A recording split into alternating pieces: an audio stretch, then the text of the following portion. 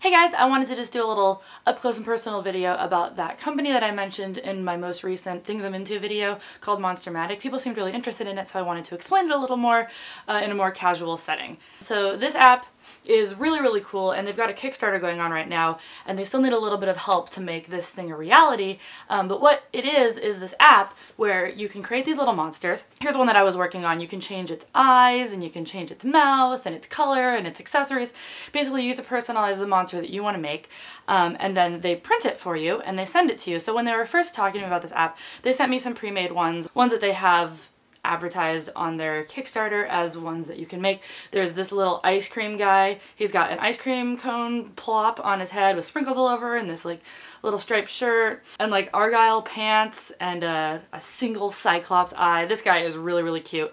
Um, they also sent me this one, kind of like a standard werewolf monster. He's got, uh, you know, all of them have their arms like raw of the ones that they sent me and then he's got like these pointy teeth and his funny little shorts and uh, monster gloves. I think those look like gloves. Uh, anyway, these were so cute and it piqued my interest so much that I decided to have them print the monster that I was making. Again, this is the picture of the one that I was working on. I thought he was really cool. Here's what they sent me. So this guy is so sweet. It's the same sort of one as the werewolf guy, but he's got stars for eyes and he's got these adorable little teeth.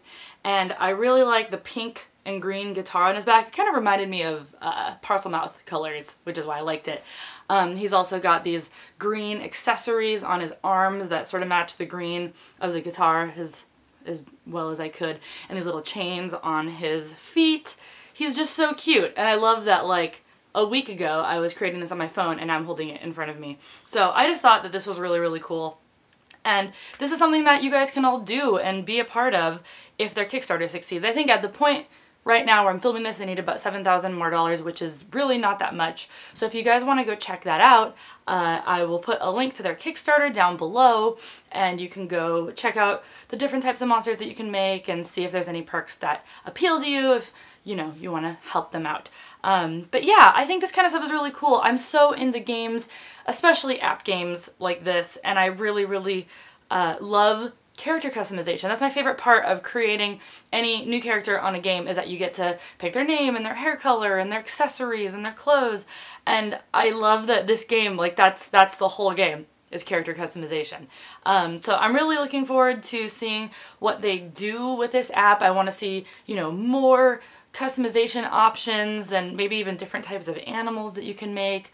Um, and I think I think a lot of really cool stuff could come out of this Kickstarter succeeding. So I try not to talk about other people's Kickstarters too much because I definitely inundate you guys with my own, but this is one that I think looks really, really cool. Let me know in the comments below if you think this looks cool or if you plan on checking out the Kickstarter.